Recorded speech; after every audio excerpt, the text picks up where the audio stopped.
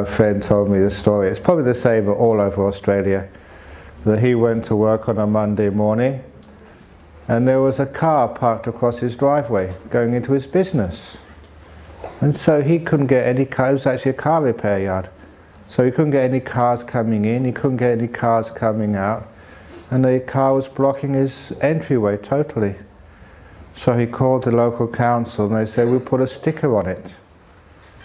I said, a sticker is not enough, I need to move it. He said, no, according to the law, we put a sticker on it and if it hasn't been moved for seven days, then we're legally allowed to move it. In seven days! My business will go broke in seven days. He said, well that's the council regulations, we can't move it. Okay, he said. So he got in his car and he parked it across the entranceway into the council officer's car park. and when they said, move it, said, put a sticker on it.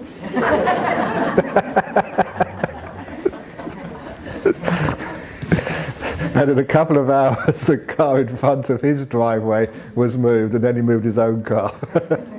That's the way to deal with councils sometimes. it's really smart. okay, so we'll start with uh, meditation again today. Now remember what I told you yesterday? Well first of all, you see just uh, how meditation should be a happy process and I mentioned yesterday the Dhammadayada Sutta, no, Dhammacetiya Sutta, that where that uh, the king noticed that the monks meditating under the Buddha were always happy and smiling. And that's always a very good sign. Because if you really do let go, what are you letting go of anyway? You're letting go of dukkha, of suffering. And the more you let go, the less suffering you have, the happier you should be. So a really good sign that the meditation is going in the correct direction is you become happier, lighter, don't carry so many burdens in life. You know, someone calls you an idiot and you just smile at them and laugh and think that's really funny. And whatever it is, you become very light-hearted. And the, in the best meaning of the word. I mean, easy to smile, easy to laugh, but also just you don't carry around the burdens of the past. And you don't worry about the future either. You know, I've always noticed that you know, when, I, when I don't plan for the future, and often I don't plan for the future, you know, things go wrong. You know, you need to plan, otherwise you don't know what's going to happen. So if I don't plan for the future, things go wrong. But when I do plan for the future, they go wrong anyway. Either way, the future goes wrong. So I decide not to plan and enjoy it before it goes wrong. That's my motto in life. Expect things to go wrong and don't plan so you can enjoy everything. And which means you become quite light-hearted. You don't worry so much. You can let go more. And imagine, just imagine what it must be like to be a Buddha, to be enlightened. All the past which happened to you, you can just let go like that. And you can laugh at your mistakes. That's what I learned from Ajahn Chah. Whenever I made a mistake, he would just laugh. He would never punish you or scold you or shout at you. He'd think it was so funny when Westerners made mistakes. Just like the first time we'd all go onto the Asian toilets. You know, just a squat toilet. Where's a toilet? That's a toilet. So you know what we'd do? We'd sit on it.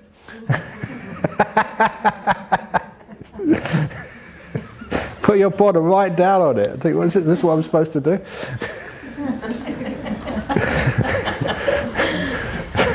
That's me. Or like, you know, the spittoons we sometimes have. You know, we always have spittoons next year. You know, one of the, the persons starting to become a monk, thought this was his bowl and put his rice in his cup.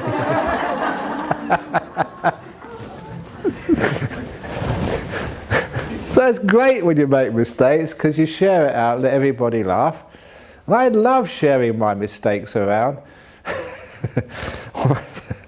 One of the mistakes which has become quite famous now is uh, when I'm doing a marriage ceremony for a couple.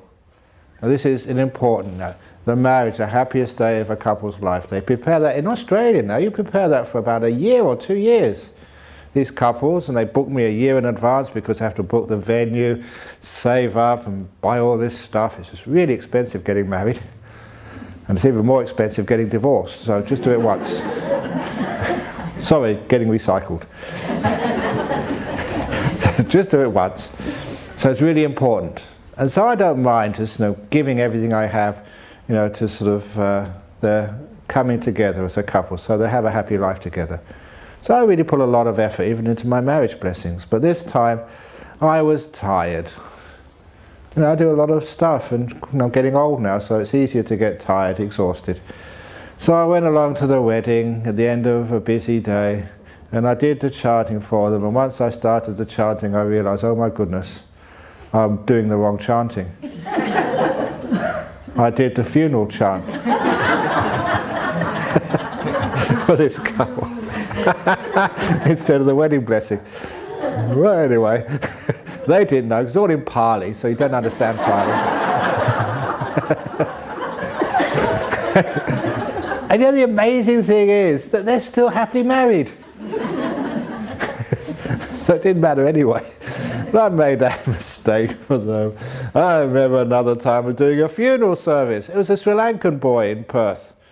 He said, you know, one of his parents had died, can I come and do the ceremony? And, you know, the parent never came to the temple, but, you know, he did. And he said, much better if you can come and do the ceremony for us. So I went there and, oh, you know what a funeral ceremony is like. You're in the funeral chapel, everybody is wearing black and being sad. And, you know, you try and sort of have a bit of gravitas, you know, and saying to people, oh, we've come here today to celebrate the death of you know, my disciple's mother who's passed away tragically. And I went on like that for one more minute, and then this old lady in the front stood up and said, It's not me who's dead, it's my husband.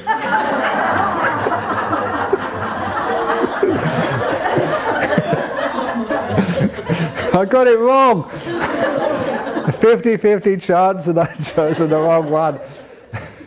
And after that was one of the wonderful funerals. I really loved that funeral because you know, all the somberness, it really was a celebration. We were laughing all the way through the funeral.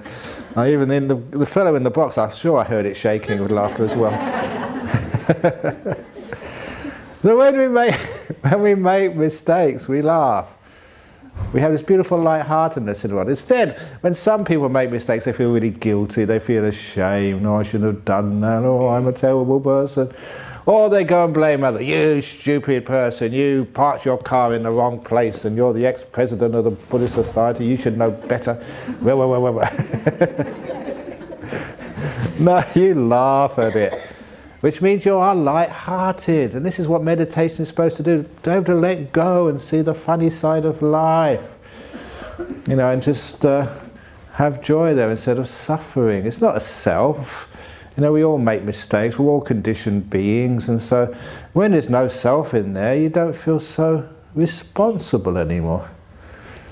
It's a wonderful thing, you just let go much more. Now that's an important part.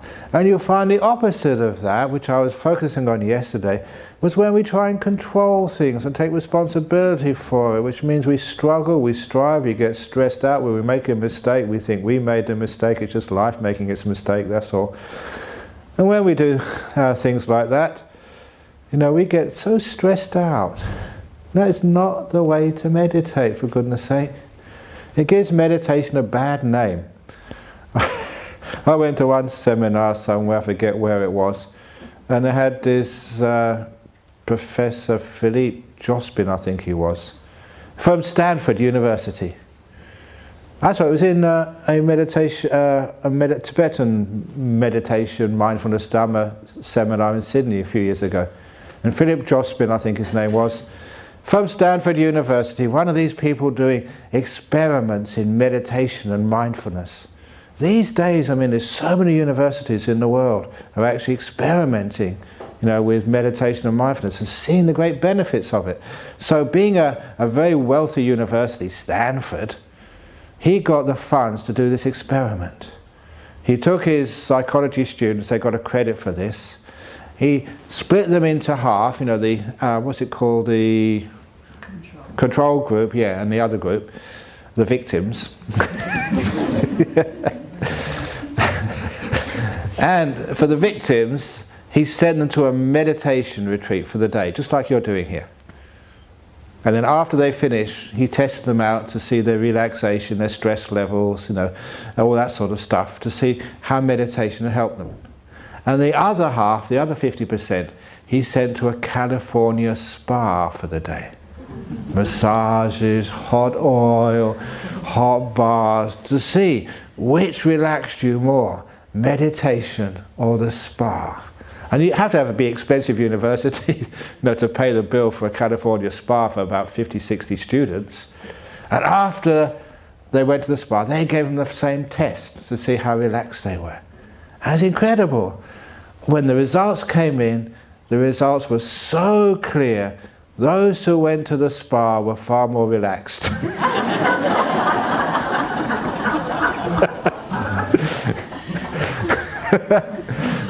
what the heck is going on? And it's because it was one of those meditation retreats. No, now you've got to walk, now you've got to sit, watch your breath, straight back, watch your posture. No, don't make any noise, don't fall asleep. It's one of those retreats. No wonder that caused you to be more stressed out. but I'm sure if they did one of my retreats, then my retreat you'd be twice, ten times as relaxed as going to a spa. because this is so important. You have to learn how to relax the body to make it healthy, obviously, and relax your mind to make it healthier, obviously. And if you're going to get peaceful and still, like I said the other day, you can't do that through force. Every time you use force, you actually disturb the mind. You agitate it. That story I said yesterday, Ajahn Chah, the leaf on a tree, that was such a powerful simile. Simple, without any need for any uh, visual aids, he just used his hand. Leaf on a tree. It only moves because of the wind. So if you hold the leaf still, that's, that's not going to work. You just protect it from the wind.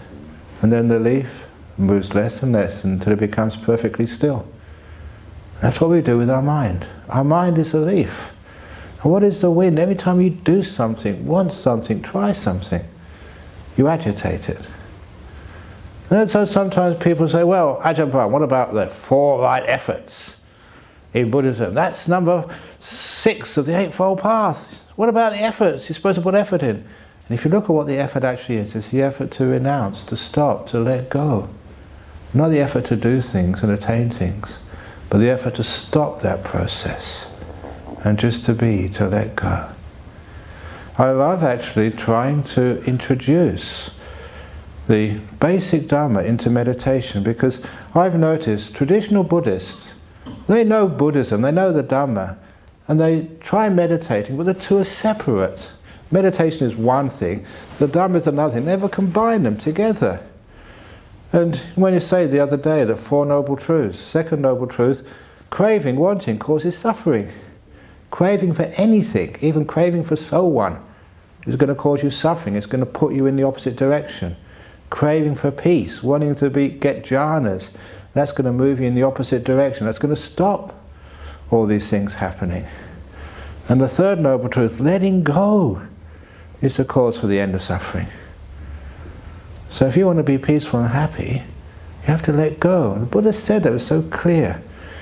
But one of the other factors of the Eightfold Path, which I always love focusing on in meditation retreats like today, is the second factor of the Eightfold Path. Sammasankappa, the right intention, you know, where everything comes from. And the right intention, the three sammasankappas, are nekama sankappa, avyapadaka sankappa, and ahimsaka sankappa. Nekama, renunciation, letting go, stopping. Not meditating to gain things, but meditating to let go, to renounce everything. Renounce all your attainments. When you renounce your attainments, you're renouncing the self. Renouncing trying to get places. Renouncing all of this, uh, your past and your future. Renouncing just everything. It's letting go. Nekama Sankappa. And the next one, avyapadaka sankappa. You know, sometimes people ask me, said, well, compassion, we always know Buddhism is compassionate, but where is that in the Eightfold Path? You don't have like sama Metta or sama Karuna in the Eightfold Path. And you find it there, the second factor of the second, uh, so the second part of the second factor of the Eightfold Path. Avyapada Sankalpa. Avyapada basically means non-ill will. It is um, a synonym. Synonym means the same word expressed in a different way. A synonym for metta. Avyapada equals metta. And this is like intentions of kindness, compassion, metta. That is the second factor of the second factor of the Eightfold Path, the second part of the second factor of the Eightfold Path. It's right in there. And I was really surprised sometimes how some people forget that and they meditate with ill will. Okay, body, I've had enough with you moving, you're going to sit still. sit still or else. This is going to be enlightenment or bust. I've only got one day left, okay, let's do it. And that type of attitude, I've seen that in my life as a monk, cause huge problems. There's one monk, I won't say who he is, but he lives in Northumberland in England. you know who his name is. And when I was a young monk, he was just a tiny bit junior to me, and he decided to go for broke, to sit through pain, not moving. So it doesn't matter how much it hurt, he was just going to sit there and sit there and sit there, just like the Buddha. Even though my blood dries up and my bones turn to dust, I'm not going to move until I get enlightened or die. No namby-pamby cream puff stuff for me. This is it. The tough guy, the US Marine form of meditation. the Buddhist SEALs, the BSV SWAT team. you know, for some people, not just guys, girls as well, they really get into that. They think, yeah, this is it. This is me. I'm going to go for it. I'm tough. I'm hard. I've got enough willpower as a Buddha did. I'm Australian. I can do this. And this poor monk, after he came out of meditation, we had to send him to hospital for double knee reconstruction. it's crazy. And I don't know why people actually do that. They think, you know, I think maybe you've had those thoughts sometimes. Yeah, let's do it. Let's do the tough retreats. None of this, this soft stuff which Ajahn Brahm teaches, you know, cushions. Get rid of all the cushions, come on. Get rid of all the blankets. Get them away. Sit up straight, okay. No moving. Not these 30 minutes or 40 minutes meditation. Let's do two hours. Let's do all day. No lunch, okay. Sit down. We're finishing at five and no one's going to move, okay. now, some people like that. And I get complaints sometimes that my retreats are too soft. But I, I'm not going to accept that because I know exactly what I'm doing, why I'm doing it, and how powerful it is. And so those sorts of people, they're forgetting the second part of the second factor of the Eightfold Path. It's intentions of kindness and gentleness. And it's weird. If you force the body and force the mind, all you're doing is strengthening your sense of self. It is the will is what creates the self. Have you ever noticed people with big egos? In the office, politicians. I met big politicians sometimes. Oh, I remember the first time I met John Howard. It, you know, what I got from him afterwards that this guy thinks he owns Australia. Honestly, that was the intention, that you know, Australia was his. I met some of these other politicians. The scariest politician I've ever met was Hun Sen, you know, the Prime Minister of Cambodia. He was a really dangerous guy. And I did meet many of your politicians, you know, in Sri Lanka. I must admit, the, the you know, Rajapaksa, you know, the, uh, the, the president, you know, he was quite a, a kind guy, but some of his cabinet afterwards, because you know, I was having a cabinet meeting and I just finished having breakfast with your president and when I came out, these guys, whew, you could feel them, just these were, please excuse me, but bad people. They had big egos, controlling, and also corrupt as well. And they got to that place, they'd striven very hard. All their force, all their ego, all their effort had made them into these big fellows, big egos. And that was one of the big problems. Striving gives you a sense of achievement, which gives you a sense of ego. And this is who I am. That is not the way of Buddhism. We're actually diminishing our sense of self, diminishing our ego.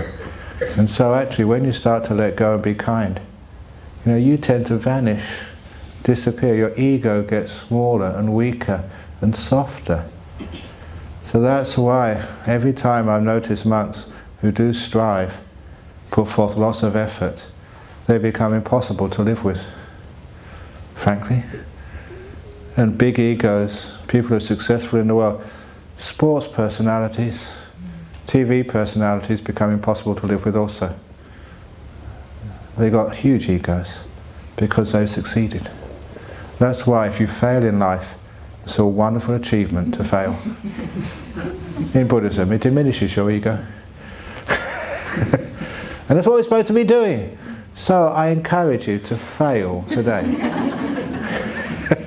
Don't achieve anything. Give up. You're hopeless. I can't do anything. And then you're getting much closer to the, to the Dhamma. So that's why this striving business, you know, I've seen by example over many years meditating, being a monk for so long, and I've also understand why it doesn't work. We have to let go. Remember the Buddha before his enlightenment? He had this wonderful little um, bit of the, the history of the Buddha's enlightenment. He put his bowl in the river Neranjara. And he said, he made a determination, if I am to become enlightened, my, my bowl go against the stream, against the current. And of course you all know in the, in the story, it did flow against the current. And he thought that was an omen. It's not just an omen, it was a, a good description of how enlightenment happens. You go against the stream of craving, which is not another type of craving. It's go against the stream of all craving. Stop, stop doing stuff. Let go. Be still. Stop. It comes into one of the lovely stories in the history of Wat Pah Pong. There was a young novice, maybe 12, 13 years of age, somewhere around that, that age. And one evening, Ajahn Chah was giving a, a lecture, giving a talk. Now, in those days, when these monks start giving talks, they just don't stop one hour, two hours, three hours, four hours, five hours, sometimes all night they keep going on. And you get used to that. And you would think, wow, that must be amazing. Six hours of Ajahn Chah. It was not amazing. it was boring as hell. Because the truth of the matter was, and ask any monk who was there at the time, Ajahn Chah would speak a lot of rubbish most of the time and that's my teacher, I respect him, for this is truth. But every now and again he would say something which was so powerful, so deep, it was worth it. It was like, you know, mining gold in, in Bendigo or somewhere. You dig up all this rubbish and then you find a few nuggets, and that's why it's worth it. And that's what it was like with Ajahn Chah you guys these days, when you read these books of his teachings, that has been like sifted, you know, all the rubbish pushed away, just the nice little bits are kept for you. It's very nice, you're very lucky. but for me, I had to sit through it all the time. But it was worth it because every night he said, say something, wow, that's incredible. And you know, that changes your whole life, just a few nuggets of wisdom. But, you know, for a, a monk, you know, you've got some endurance, you can stay up late at night. But for a little 12 or 13 year old novice, that was too late for him. And going along 9 o'clock, 10 o'clock, he's thinking, I'm not a monk, I'm a little guy, can't I go back to bed? And he started complaining and thinking. His thought, which kept on going round and round in his head, was when is Ajahn Chah going to stop? When is Ajahn Chah going to stop? When is Ajahn Chah going to stop? And it became just repeating itself over and over and over for about an hour. When is Ajahn Chah going to stop? When is he going to stop? When is he going to stop? And now the wonderful thing about insight and Dhamma is where you take a phrase like that and you just turn it the other way around. And he turned it around. After one hour or something like that, he said, when am I going to stop? and he stopped. And when he opened his eyes later on, all the monks had left. It was, the dawn had happened, it was early morning. It was light. And he had just had his first great meditation, this little 13 year old. He didn't hear the monks doing the chanting when they were leaving, put away all their, their stuff, and make a noise when they leave like everybody else. He had always do the chanting at the end, sometimes Arahang Samma Sambuddho. They always do that. He hadn't heard anything. He'd just be sitting, having the time of his life, deep within. And the interesting part of that story was how he did it. He stopped. Now you understand how we get into these deep meditations. You don't go along with this craving or that craving, or the craving to stop craving. You stop. And then you went into this incredibly nice meditation, one of the jhanas. That gives you the key. Just like Angulimala. Stop, monk! Chasing the Buddha, trying to kill him. And the Buddha saying, I have stopped, you stopped. But you're running. What do you mean? This is what he meant. Stop. That is why, when I've come to Melbourne, I have found it's incredible just how far Buddhist, Buddhism has actually flourished in this city. Every intersection I see this Buddhist sign, the Dhamma. Stop. I thought, wow, people here understand the way to Nibbana. So every time from now on you see a stop sign, remember the Buddha. Remember that little monk. Remember Angulimala. Stop. but I have stopped, policeman. no, you've gone right through the sign. No, so you stop. And that is how we understand about the second factor, the kindness, the stopping. And the kindness is what allows you to stop. Because when you're kind to your mind, the whole thing changes. You know, our meditation retreats at my retreat center, you know, there's always people who have a difficult time trying to meditate, trying to get sowan, trying to get jhanas. Ajahn Brahm says it's really nice, better than sex and all that. I want, I want, I want, I want. I can't do it. Ajahn Brahm, help. So a lot of times when people come with those sorts of problems to me on a retreat, this is the advice I give them. Say, go to bed, have a nap. I can't have a nap, that's indulging. I'm here for enlightenment. I can't waste any more time. Go to bed. No, no, that's just giving up. Go to bed. And I order them to go into their room and have a nap. And I tell them, after you've had a nap, have a cup of tea, chamomile tea, you know, if you're Venerable Buddha Rakkhita, uh, Tinkiri tea, if you're Ajahn Brahm, whatever. Have a shower, and then come meditate. And you know, it's this 100% success rate when I give them these orders. They go and take a rest, shower, cup of tea, and then they have the most beautiful meditation of their whole retreat. And I ask them why? Because you are kind to your body and kind to your mind. It's not indulging, it's kindness. And too often, people these days are too cruel to their mind. So cruel. And I'll give you another simile to emphasize this. A meditator, a woman, she gets a call one afternoon on her uh, smartphone, and it's an acquaintance of hers. And she said, Are you free this afternoon? And you say, Yeah. So I'll come out for a cup of coffee. Okay, where? I know you like going to Gloria Jean's, but I like going to Dome, so I'm going to take you to Dome Coffee. And I know you like lattes, but they're bad for your health. You're going to get a short black.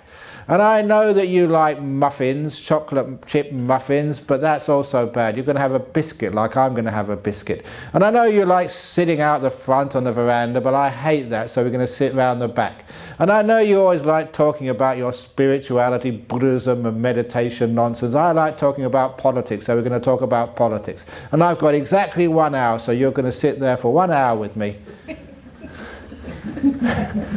now imagine if you did get a, get a call like that, what would you do? Telling you what coffee shop to go in, what coffee you're going to drink, what you're going to eat, where you're going to sit, for how long, what you're going to talk about. That's a control freak. So what you do is say, um, oh, oh, I just remembered I've got to go to the dentist this afternoon. Oh, I'm terribly sorry. You know, anything to get out of going to spend an hour with someone like that.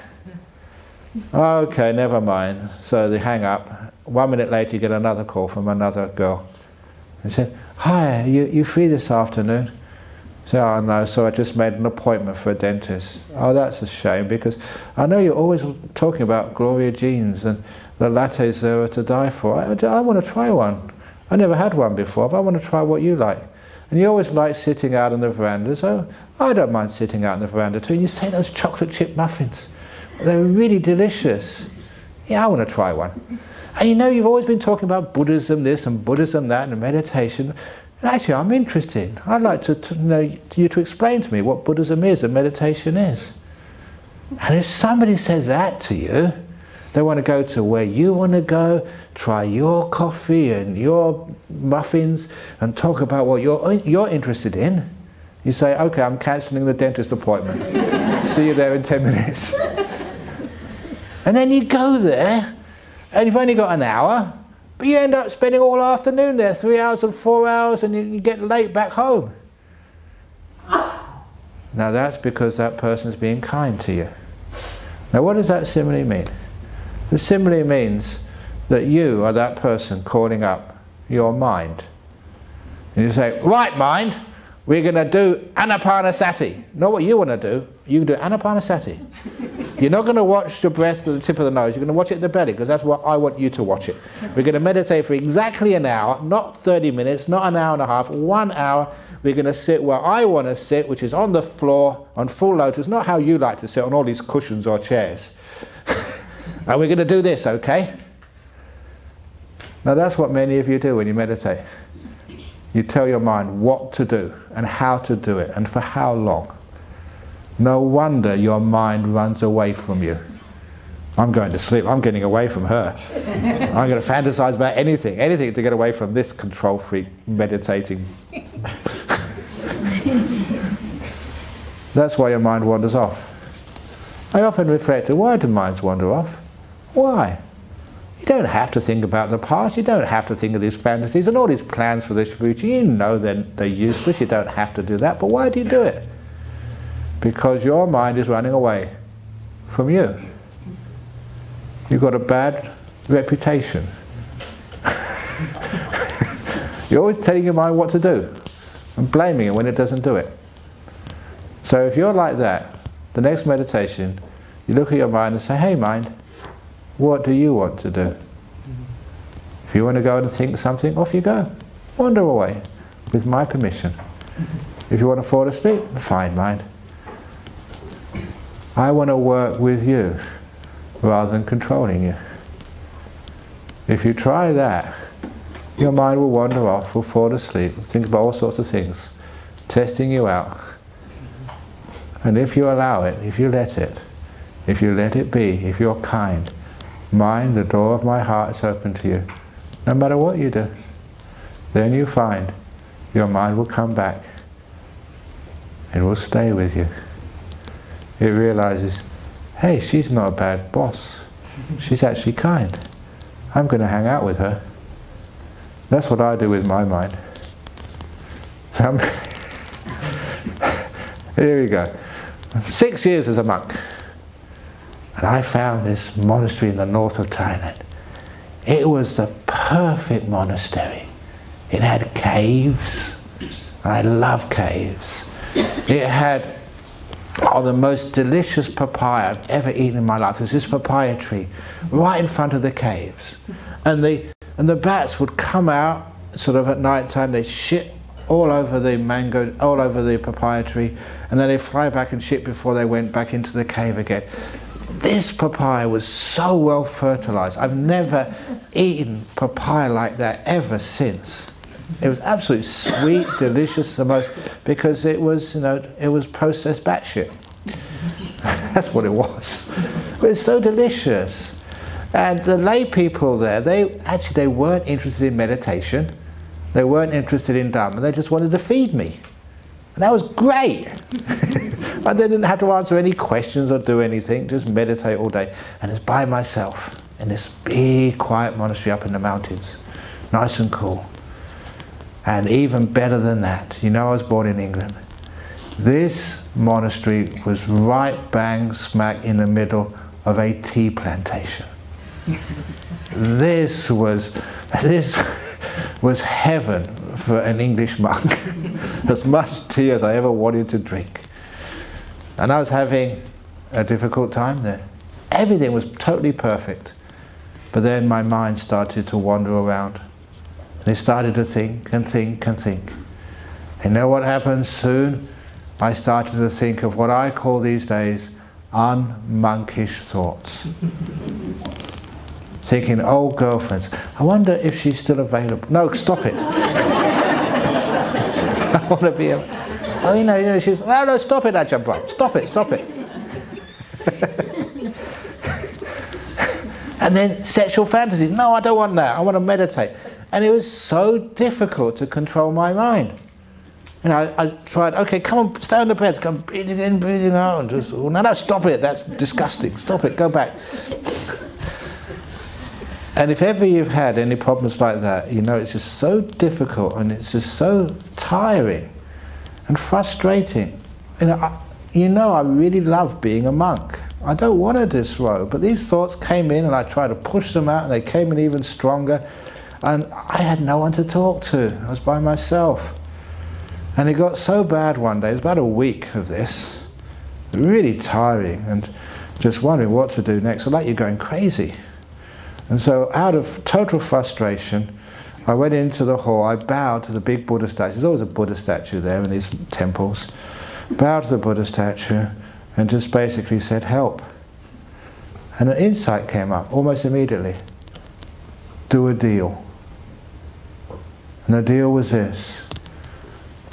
My mind would watch the breath and behave for most of the day.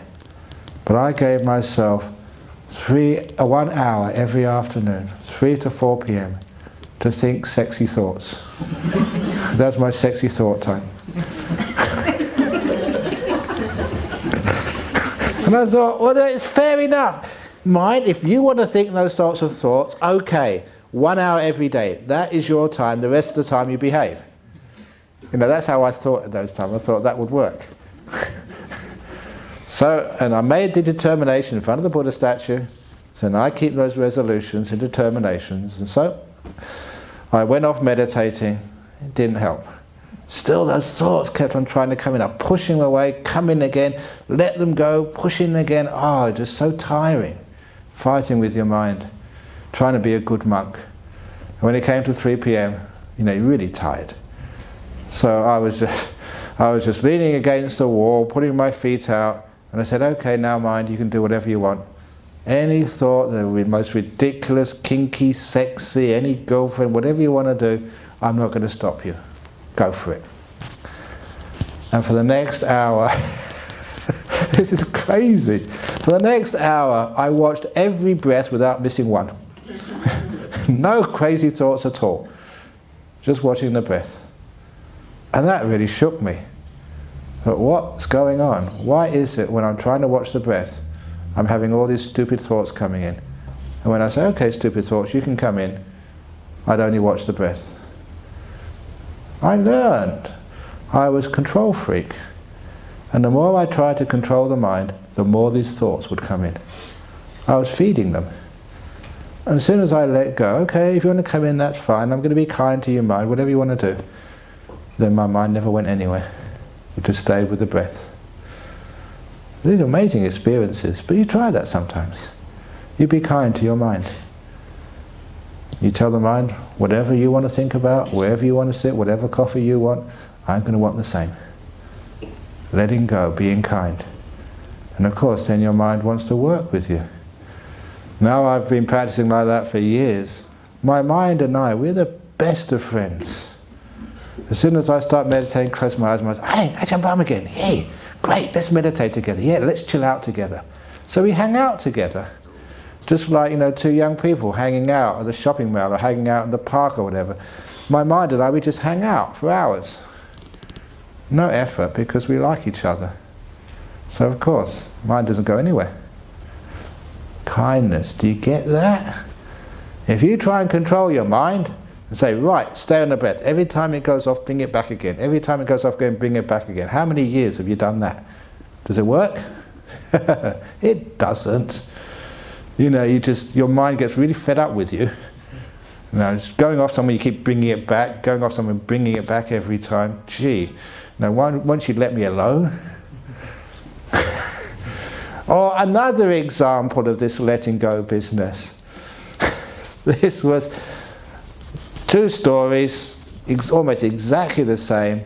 This woman in Australia, are just some people, they're just emotionally geniuses. This was the super mum. And ah, no, I'll just take my, if I had a hat, I'd take it off for her. I'd take my beanie off for her, but I hardly wear the word beanies. She was so smart. She had this six-year-old boy. At home, one day, six-year-old said, got a tantrum like kids do. Mummy, I don't love you anymore. I'm leaving home. So a six-year-old was threatening to leave home. If that was your kid, what would you do? You say, don't be stupid, you can't leave home. Yeah, blah, blah, blah. But this was a very smart mum.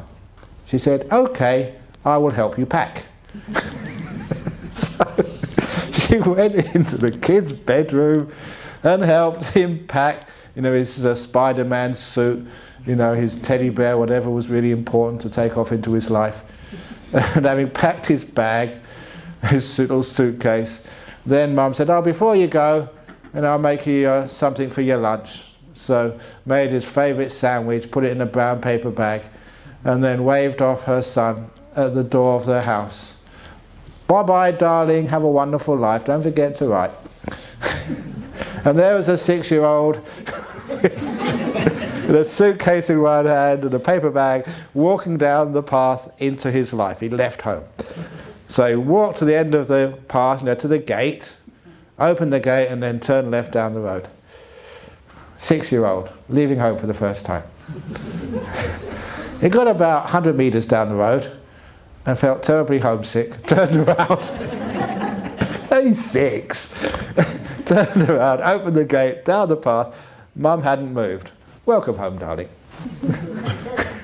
now that was emotional intelligence. That was a really smart woman.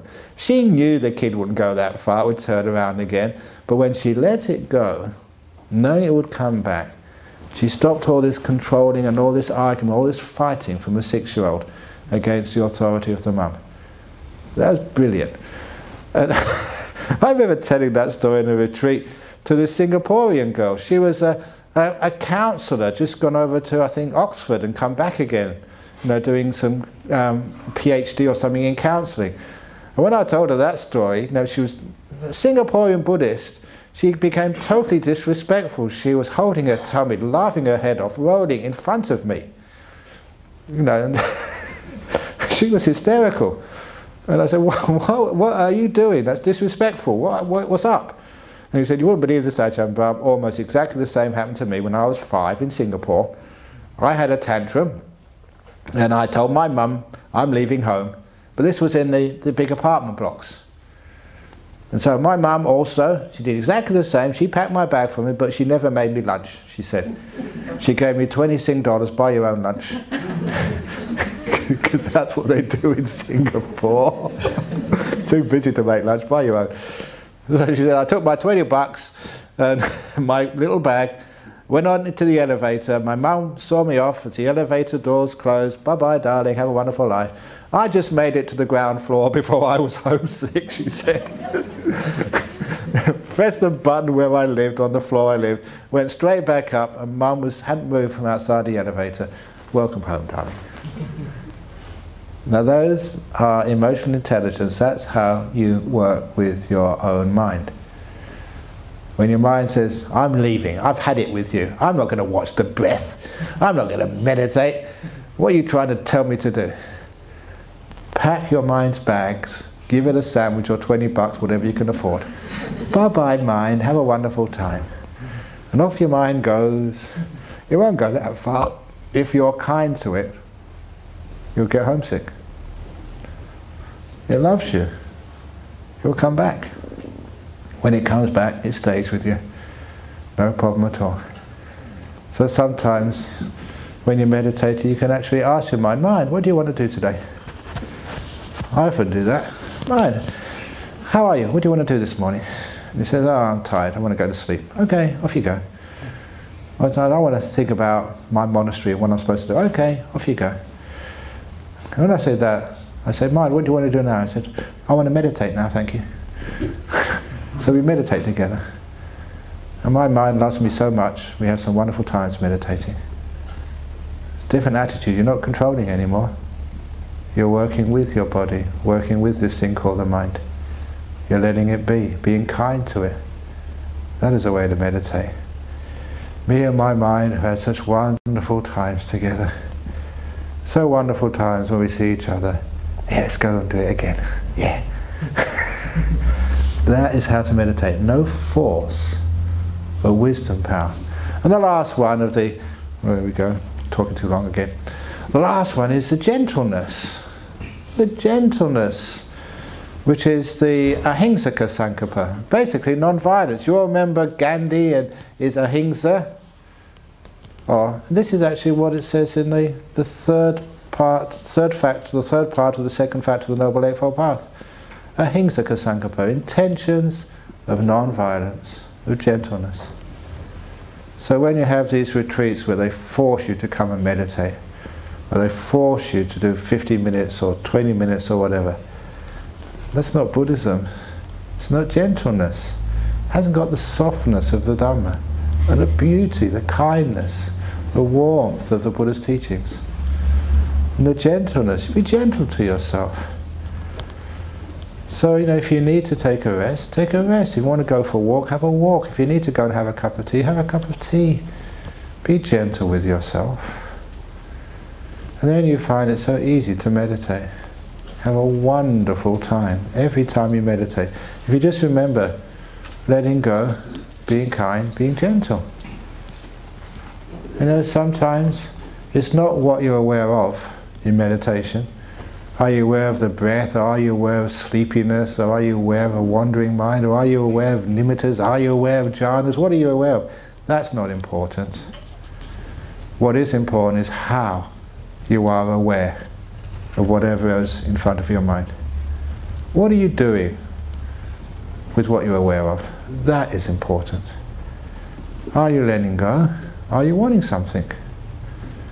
If you're wanting something, you're going to get nowhere in meditation. Are you being kind? Or are you being sort of angry at your mind? Stupid mind. How many times have I got to sit here before you stop thinking these stupid thoughts? I've told you many times, stop thinking about the future. Stop it, mind. Stupid mind. That is nothing to do with Buddhism. Be kind to your mind. You know, I was telling the monks about one of my favourite monks, as well, as well as Ajahn Chah. There was a monk called Ajahn Tate. He lived in this monastery close to the Mekong River. He's one of you know, Ajahn Chah's, Ajahn Mun's disciples. And you know, sometimes if you if you see a great monk or a great nun, you're so fortunate. And I went to see this monk once when I was young. I was scared when I first went to see him. Because these monks, you know, they can read minds, as I said last night. Yeah, monks can read minds. And I was scared, because I didn't really understand what was going on with Buddhism. I was scared that he will read my mind and tell other people what I was up to. you know, just like you. but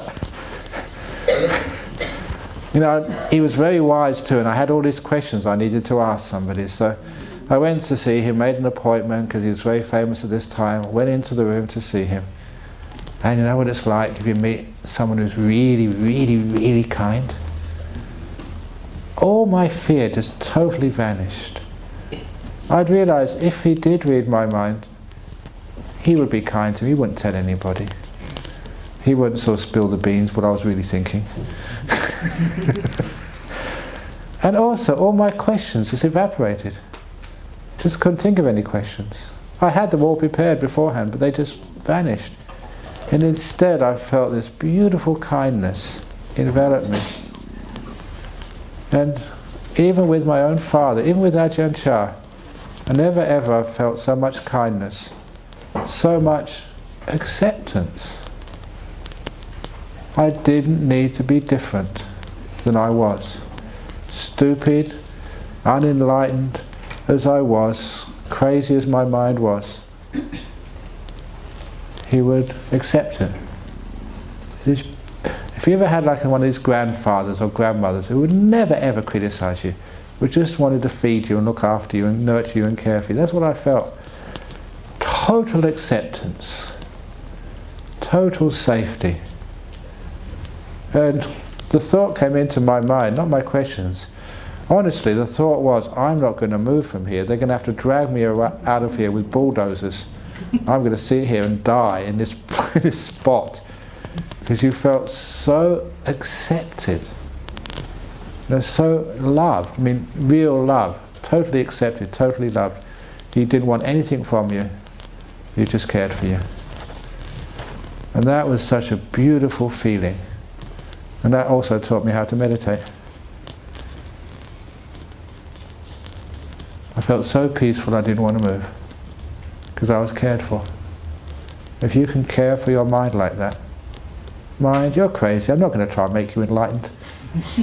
I'm not even going to try and get rid of all your defilements. I'm not going to try and get rid of your sloth and torpor, your restlessness. It's okay, mind. You can be like this for the rest of my life and the next seven lives. I just care for you. And then your mind just doesn't want to go anywhere.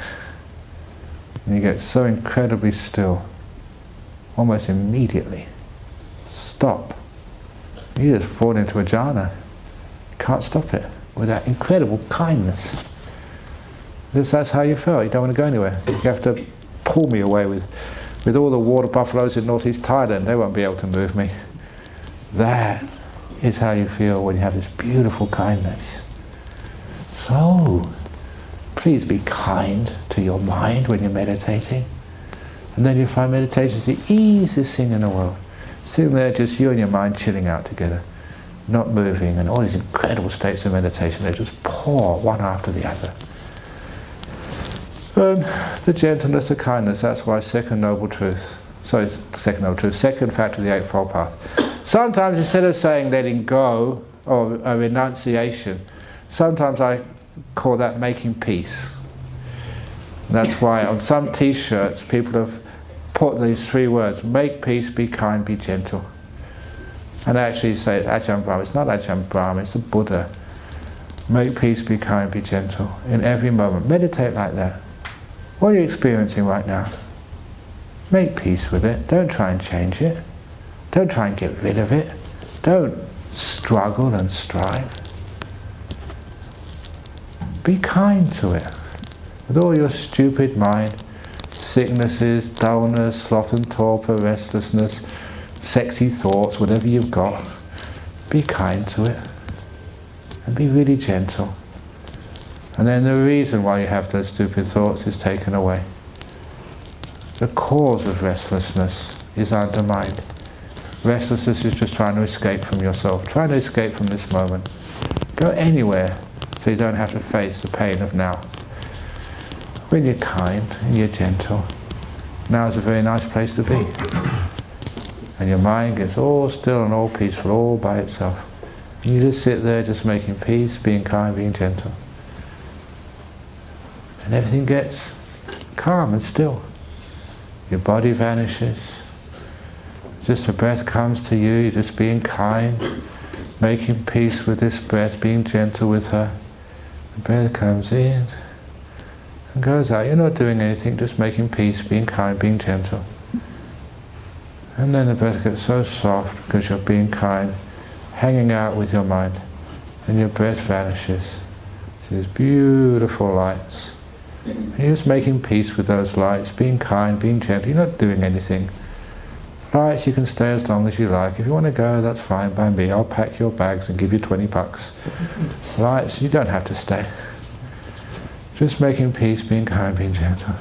The lights get brighter and brighter and wow, and you're off into the jhana realms.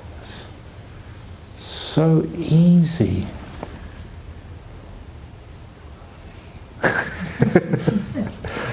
but you get involved and you make it difficult. Come on! I've been doing this for a long time, it's not working. What do you mean not working? What are you trying to expect? Wanting this and wanting that? That's the problem. As I said last night, you're hopeless. You're not going to get jhana today, so give up. Who the hell do you think you are? Trying to get jhana, trying to get so on? No hope at all. Give up, let go. And then you get jhanas and get enlightened. That's a wonderful thing. Don't give up. okay, no ego, no sense of self, no, I'm going to get this because I've been coming to BSV for such a long time. I'm a doctor, I'm a professor, I can do this. You know, I'm Sri Lankan, Buddhism is in my blood, I'm going to do this. okay, don't be stupid like that. okay, there we go. Any, any questions or comments about this morning's talk? Okay, so let's meditate now for three hours. no! What? Okay, actually, um, should we have a break first of all? Yeah, let's have a break for a quarter of an hour and then we can meditate after a quarter of an hour. Let's be kind to your bladder.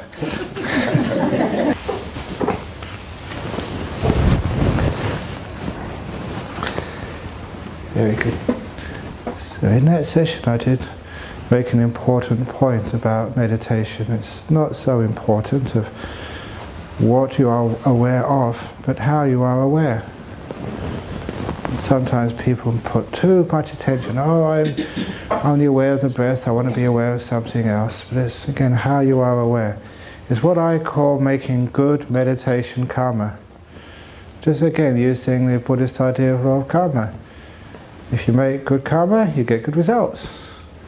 So what's good meditation karma? Karma is right intention.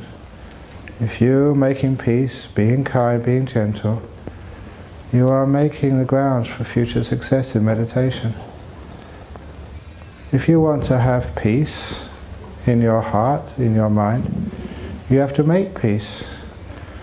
So the very peaceful states of mind, they're like these brick houses. If you see a bricklayer, they lay one brick at a time another brick, another brick, another brick. And after a while you've got the completed house of bricks. So if you make peace with every moment, this moment now, it may not be what you like, it may be what you like, doesn't matter, treat it all equally, just be at peace with it. Make peace with this moment, make peace again, make peace again. And if you have many moments of peace, one after another, you're making the house of peace inside of your own heart. And again, this kindness, you always notice just how kindness would actually solve so many problems. And especially inside of yourself, kindness relaxes you.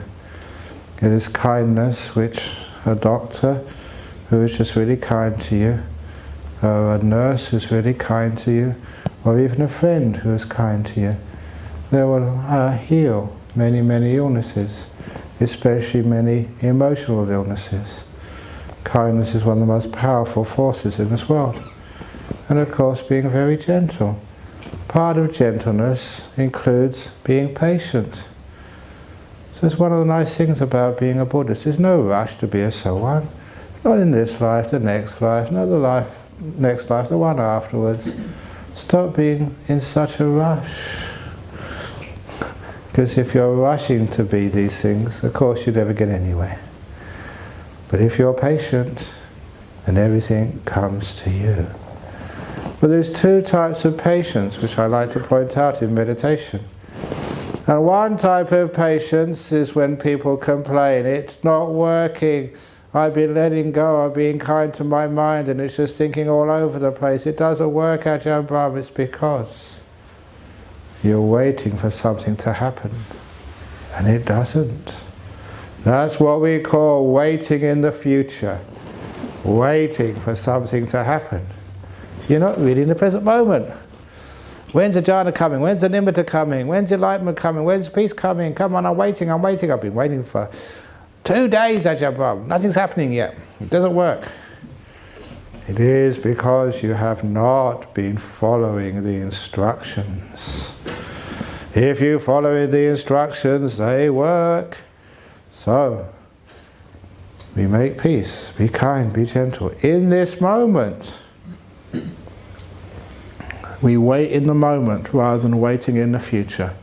That's one of the biggest problems for people who have had a good meditation before. Sometimes people have had one good meditation and they can't get it back again. They feel so frustrated until you realize why is it not coming back again?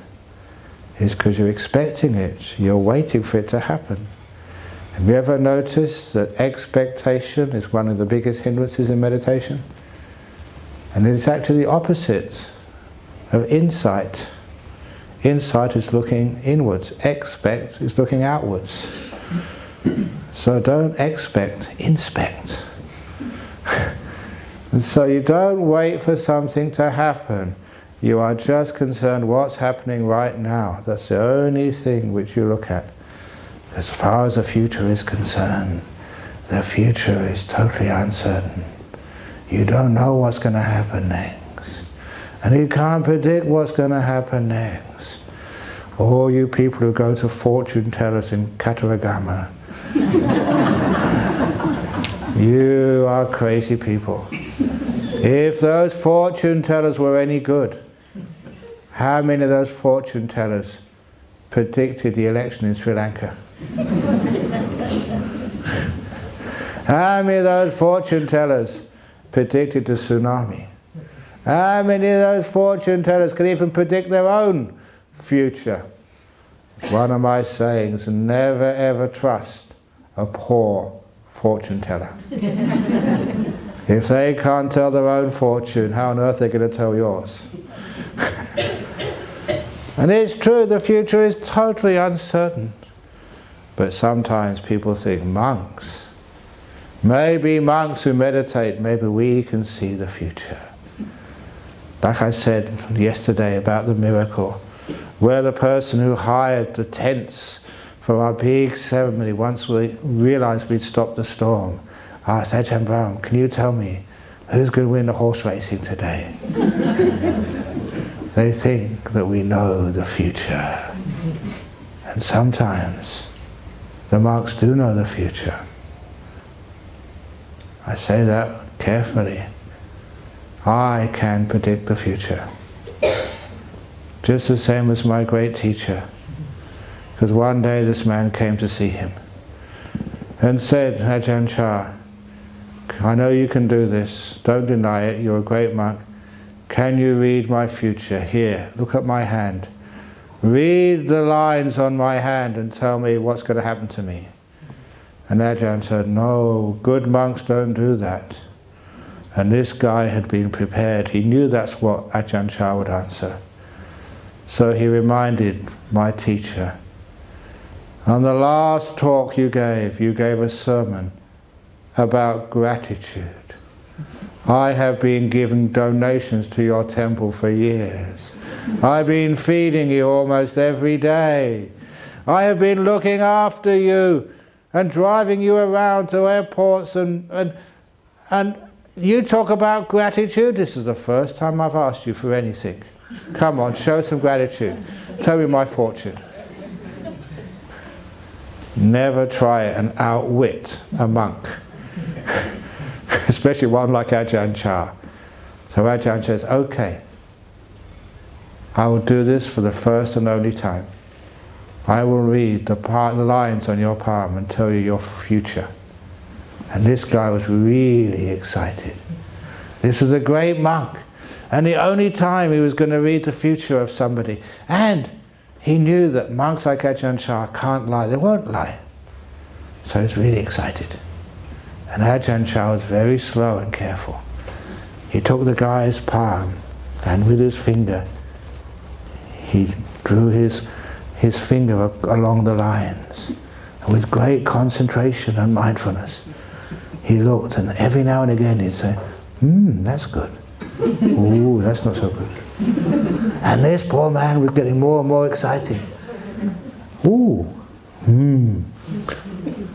And it took almost forever for Ajahn Chah to finish reading. Because if you're going to do it, you've got to do it properly. You know, give it everything you've got. And you can't make mistakes. This is important.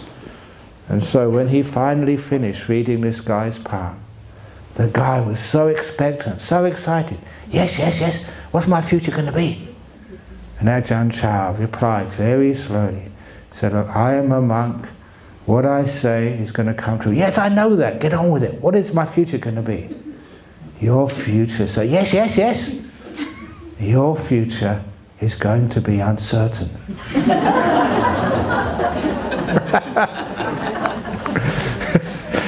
and that was it. Ajahn Chah was playing with him all the time. But it was very true. So I can read fortunes too. Your future is uncertain. I should actually get my own column in the newspapers telling horoscopes. Leo, today is uncertain. Virgo, uncertain as well. Capricorn, anything could happen.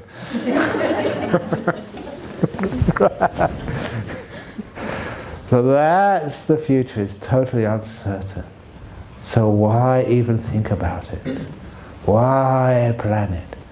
Who knows what's going to happen next? But we want to make sure our future is happy. We want to do the best for our future, which is why you must always remember when is the only time you can do anything about your future. Right now.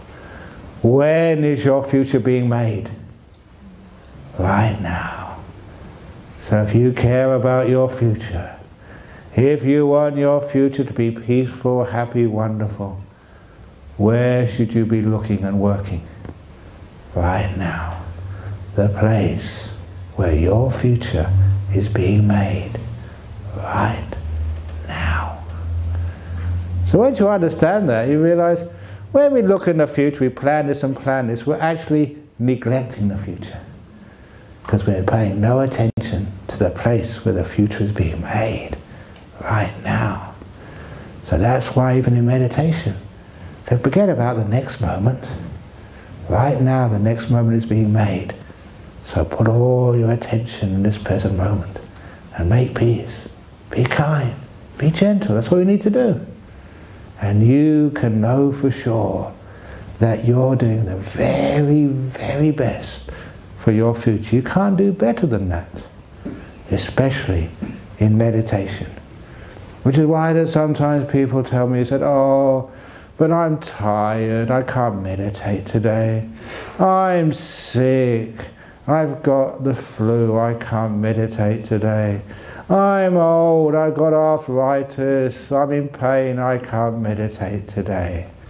And I tell them, can you make peace with what you're experiencing right now? Can you do that? Yeah, I, can do that. Can you be kind to whatever you're experiencing right now? Yeah, I can do that. Can you be gentle? Yeah, then you can meditate. Because that's what meditation is. The attitude of making peace, being kind, being gentle. Meditation is not watching your breath. That's just something which happens in meditation. That's not what meditation is. Meditation is not experiencing jhanas, that's just what happens in the long term. Meditation is making peace, being kind, being gentle. And if you understand that, you can meditate any time and you know the results are going to happen. It reminds me of one of my favourite stories, which is now a joke on the internet. These jokes which you read on the internet, you know where they come from? They go round and round and round. Some of them came from me. I'm very proud of that. and sometimes they come around and somebody passes me a joke and say, hey, look at this one. Over, it's really funny. So yeah, yeah, that's one of mine. it all started with meditation jokes, and this is a meditation story. It's a funny story, but it makes a point. It's about the migrant, the refugee who came to Melbourne, got resettled here. And as soon as he came to Melbourne, he was looking for a job. His wife told him to get some work. So, like many people, he gets a job on a building site as a labourer. And he worked all day on Monday, really hard. When he went back home, his wife said, How much did you earn today, darling? Nothing, they never paid me. He went to work again on Tuesday at the building site, worked even harder, mixing concrete, wheelbarrowing this, carrying that.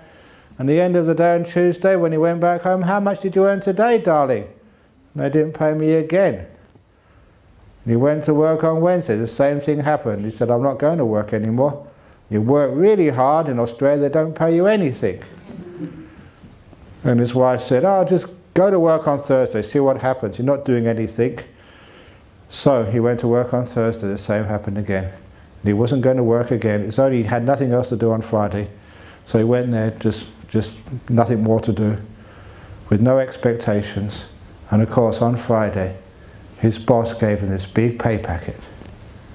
And when he went back home, he told his wife, darling, I finally figured out how it works in Australia. From now on, I'm only going to go to work on Friday.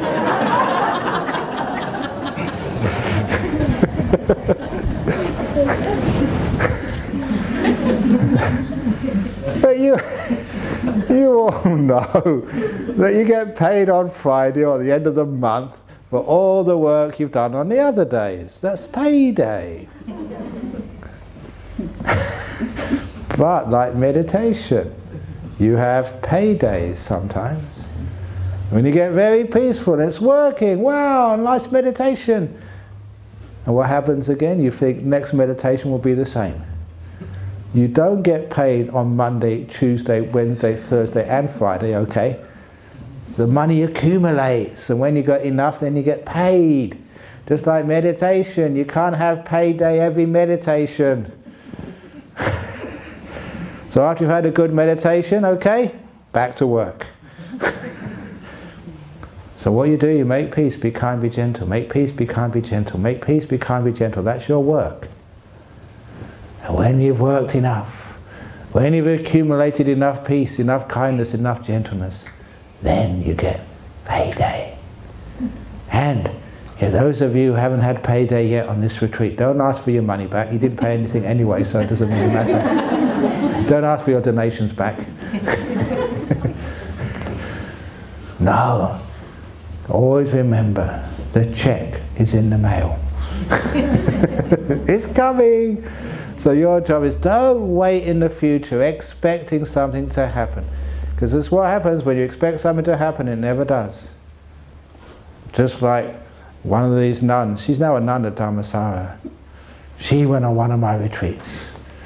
And she was really know, very good meditator, very devout Buddhist, keeping precepts and really being generous. And meditate, meditate, meditate. Nine whole days. Got absolutely nowhere. And nine days in a nice retreat, she got really disappointed with herself. And when we finished off the retreat and did the last chanting, nowhere. what a waste of time. But she was going to get a taxi to the airport to get her flight back to Malaysia. And she had an hour to kill. So there's nothing else to do. Might as well meditate anyway. And she was meditating she told me afterwards, just meditating to kill time. Not expecting anything. And that's when she got her paycheck. she, she came up afterwards to me, it's really cute, when people have a nice deep meditation and they come up to report afterwards. It's one of the cutest things. Because I was sitting on a chair and she was kneeling on the ground, looking at me with these big doe eyes, Ajahn Oh, it's, oh, it's, oh, it's, it's so wonderful. Oh, thank you, thank you, thank you so much. Oh, oh. It was so cute. I don't know if you ever have a daughter and she falls in love for the first time. Oh, mum, I'm in love. That's what it was like. It's so cute. she got her first big meditation. And why? Because she wasn't expecting it. Totally unexpected. and that's, that's why many other people, look, remember Ananda's story of how he got his big meditation and got enlightened. Ananda, the attendant of the Buddha. 25 years he was attending on the greatest master, Dharma teacher, meditator the world has ever seen. Imagine that, close up and personal, to the Buddha himself. And when the Buddha passed away, Ananda was still not enlightened. And quite reasonably, quite logically, thought, crikey, if I've been with the Buddha for 25 years, you've only been with a couple of monks a day and a half. 25 years! Not enlightened at all. You think, what a waste of an opportunity. I'm really stupid. I'm never going to get enlightened now. But what happened next was two or three months later, they were having a big meeting of all the monks. 500 monks were invited to the meeting to collect all the teachings. And quite understandably, they chose all the arahats, all the fully enlightened monks. But one of them said, well, what about Ananda? Even though he's not enlightened like us, he's heard so much and remembered so many teachings from the Buddha. We have to invite him for the conference, even though he's not enlightened. So he got his invitation to the conference. But imagine how he would have felt. All his friends were fully enlightened and he was not. Imagine what that must be like. It's just like if this evening, before you all left, I made the announcement that every one of you had got a jhana except for you. How would you feel? Yeah, that sucks. That's terrible. Why not me? Everyone else. Uh. And that's what he felt, even worse. All his friends were enlightened and he wasn't. So what did he do? Right. Tonight's the night. He gave it everything he'd got. Didn't go to sleep. Meditated all night. Meditating, walking, remembering all the great teachings of his master, putting them into practice, trying his heart out. And the end of the day, when the end of the night rather, when the, morning, the sun rose, he was as stupid as ever. so what did Ananda do? He decided another hour before the meeting, I'll just take a nap. And to this day we call this, this the Ananda method of meditation. he took a nap. And as the saying goes, you all know the story, just before his head hit the pillow, he became fully enlightened. So if this doesn't work here tonight, and if you only sleep once a day, just at night time, you reduce your chances. Take a morning nap, an afternoon nap. The more chances you've got to hit the pillow, the more and just before his head hit the pillow, became fully enlightened. Not just enlightened, with all the psychic powers as well. And according to the, the story, he decided on purpose to arrive late for the meeting. And they closed the door and locked it. And Ananda knew that. And Ananda, he came into the meeting through the keyhole. we call that making an entrance. Just to prove to everybody else he'd attained. So if you want to attain, if you want to show me that you've attained something in this meditation, go into the monk's quarters through the keyhole, and then we'd be quite impressed, won't we?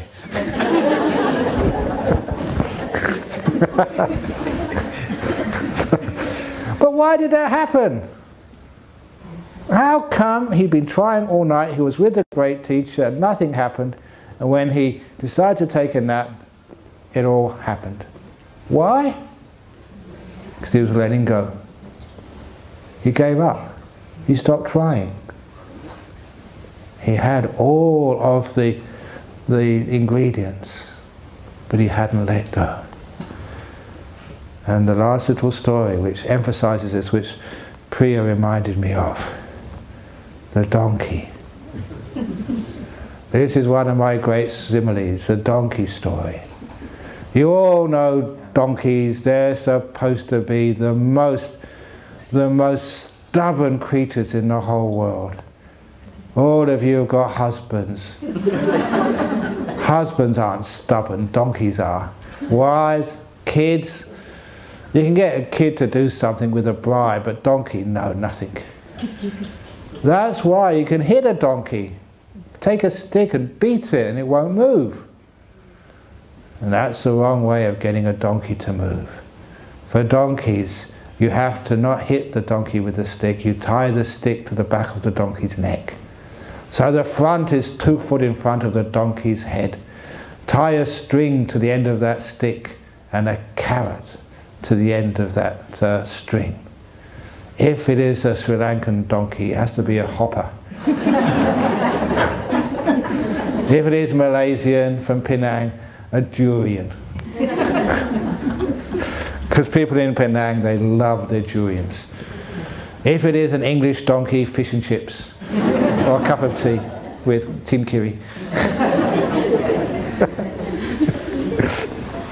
but with a carrot, the donkey sees a carrot two foot in front of its head. And what does the donkey do?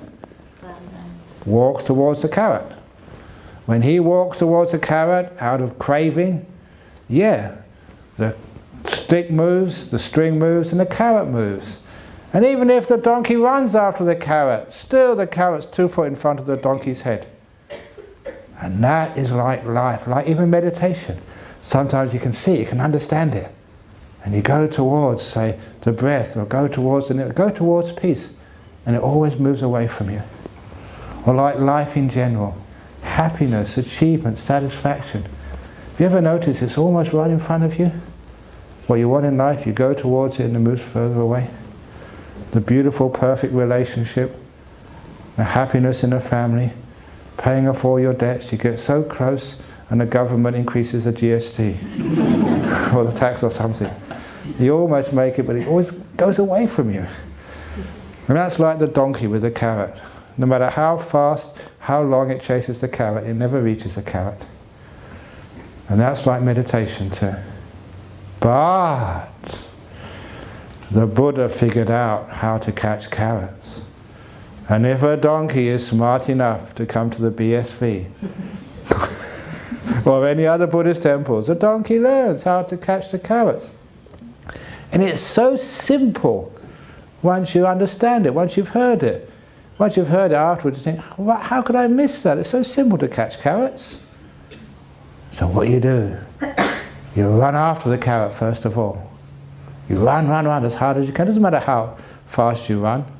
The carrot is always two foot in front of your mouth. But the Buddhist donkey, they know how to stop and wait in the moment. And that's what the donkey does. It stops suddenly.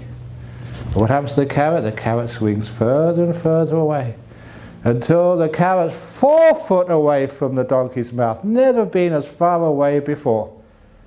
What does the donkey do? Patience, just making peace, being kind, being gentle, with knowing the carrot's going further and further away. And then something strange happens. Never before has a donkey experienced this. The carrot starts to move towards the donkey. And soon it's two foot in front of the donkey's mouth again, like it normally is. But now it's coming at full speed towards the donkey's mouth. And the donkey just needs to wait. The carrot comes towards the donkey. But it's not just stopping, there's another teaching the donkey remembers that is the most important teaching, or not one of the most, the most important, but one of the two most important teachings, the stopping first of all.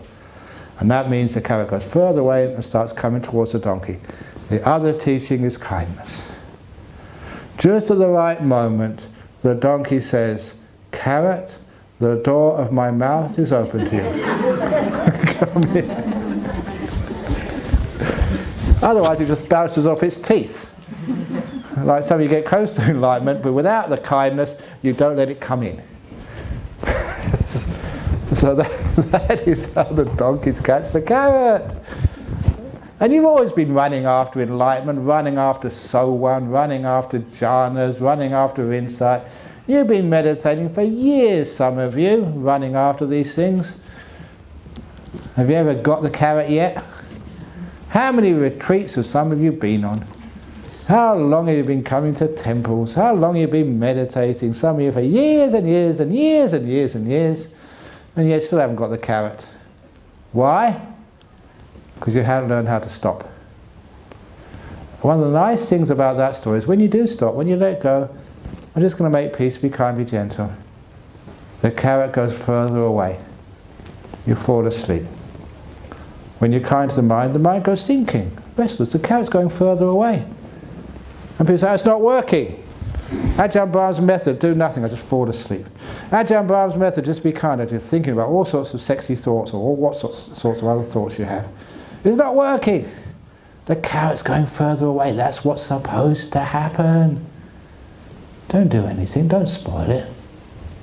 Just continue just standing there like a wise Buddhist donkey.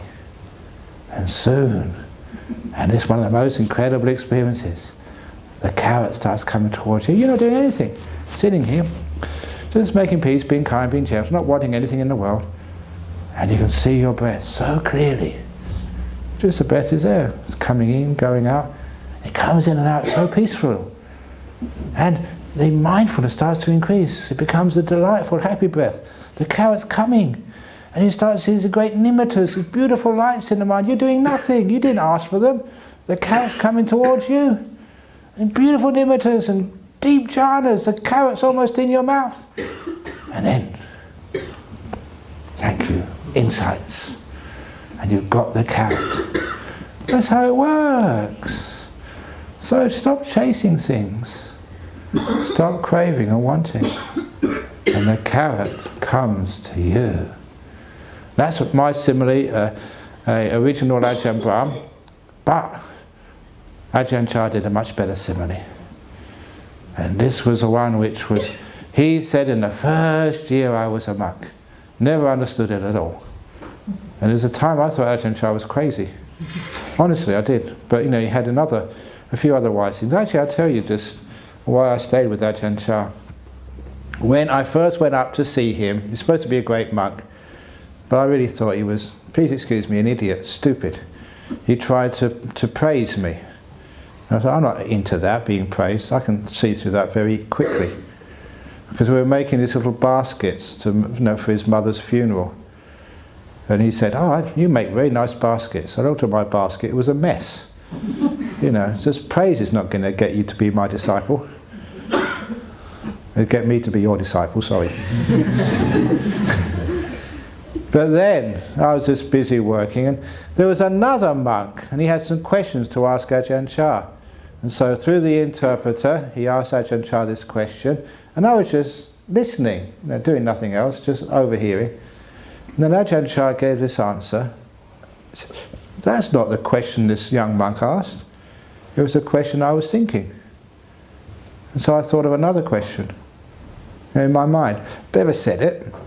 And then this monk, this Western monk from New Mexico, he asked another question, translated, the answer came back. My second question was answered. and I did, we did this for about three or four minutes. All these questions I was thinking, Ajahn Chah was answering, and not the questions this monk was actually getting translated. And I asked him afterwards, what do you think of Ajahn Chah's answers to your questions? He said, I couldn't understand a word of them. he said, yeah, because he wasn't answering you, he was answering me. And that was impressive. You know, he was reading my mind. You know, he did that. And, that, and when you have something like that, you think, okay, I'm going to stay here for a while. obviously, he, was, knew what was going on. So it was really very impressive. But at the same time, he gave some teachings, and this one I couldn't understand. But a lot of this time, you know, when I give you deep teachings, I don't care if you don't understand them because they lodge in your subconscious and later on you remember them. And they work. And that's what Ajahn Chah used to do to me. Give me these incredible teachings, which I hadn't an idea what he meant, but they stayed.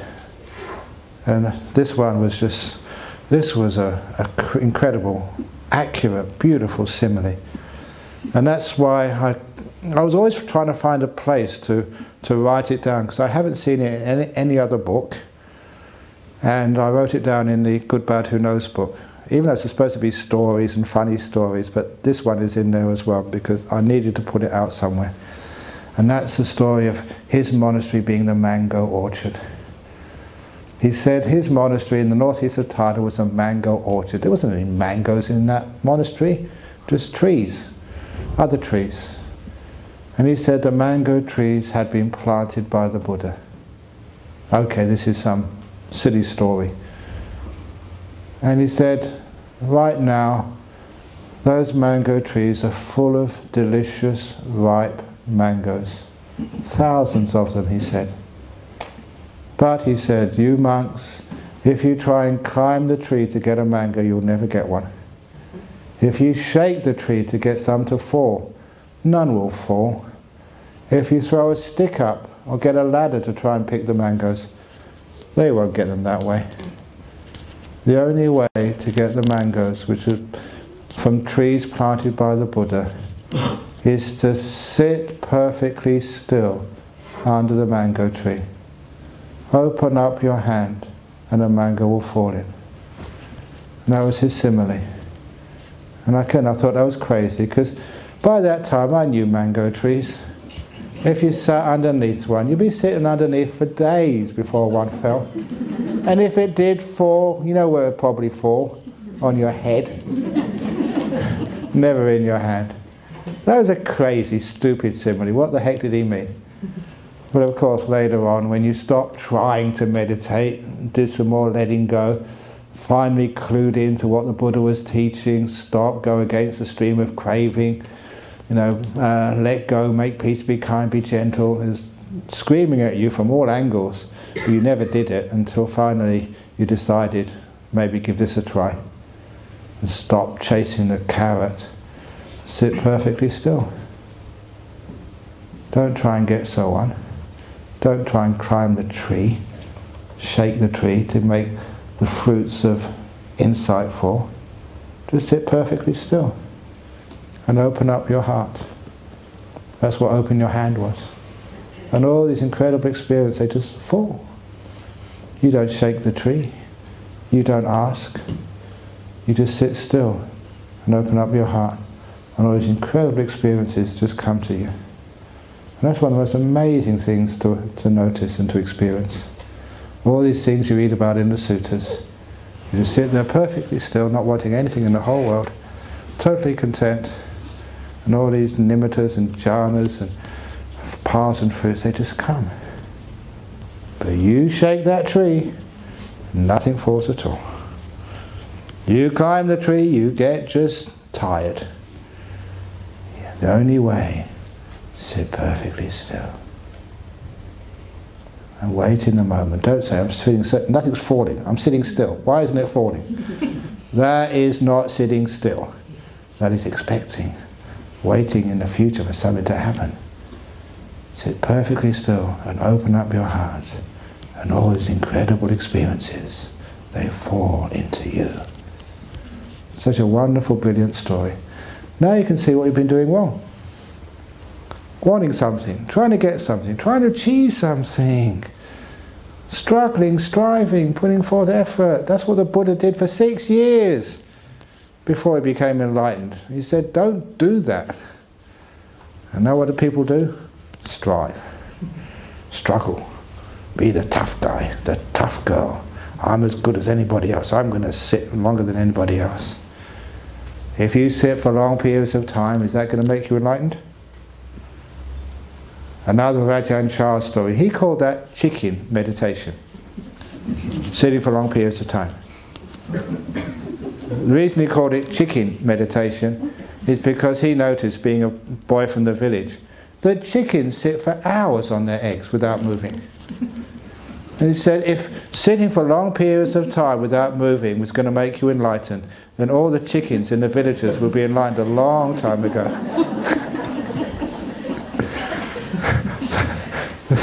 so saying I sit for three hours, four hours, five hours, that's called chicken meditation. it doesn't matter just how long. Time is not important. It's a quality. What are you doing? Are you really making peace, being kind, being gentle? Are you really letting go? Are you being still? If you are, then that's meditation. Trying to get something is not meditation. So there we go. It is now time for uh, letting you go so I can have some lunch. and again, I never chase lunch. I just stand there and it comes to me.